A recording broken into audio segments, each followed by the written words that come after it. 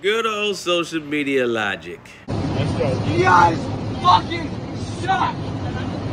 My parents are worth more than fucking two million goddamn dollars. And you know what? You fucking suck. Yeah. Yeah, yeah. You know what?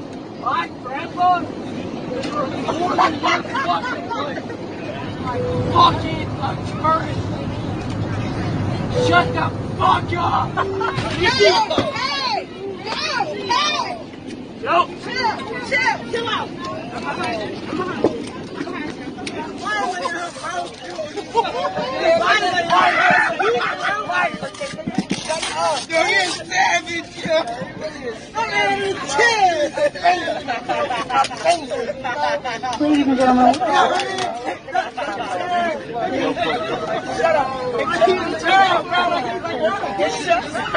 So as of right now, the post says he allegedly touched two flight attendants' breasts. So he is wilding out. On top of that, in the video, he says how he's rich, his parents are rich, or whatever the case may be. They have millions of dollars.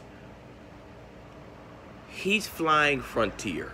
Now you lucky you didn't get socked out for touching these flight attendants. That's that's number one. Number two, ain't no millionaire or daughter or son of a millionaire flying Frontier Spirit, bruh. That's that's not happening. Me personally, I believe that millionaires probably don't even know what Spirit or Frontier is. They're like, what? That's that's a real airline with there's no first class at all? Oh, y'all. Y'all wilding out. That shouldn't even be a real airline. They don't even know what this is. And you know this is a Frontier airline because when things like this happen normally, in most cases, they'll be like, yo, we'll turn the plane around or we'll do like an emergency landing somewhere and they'll drop you off.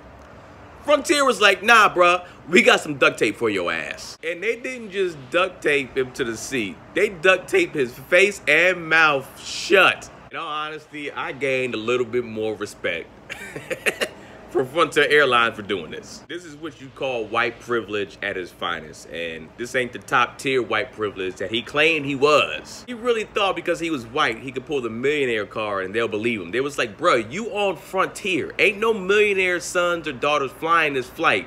Shut your dumb ass up, all right, before we duct tape you to the seat. I don't feel bad one bit. That's what your goofy ass get.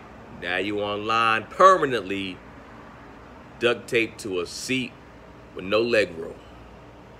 And social media, it trust.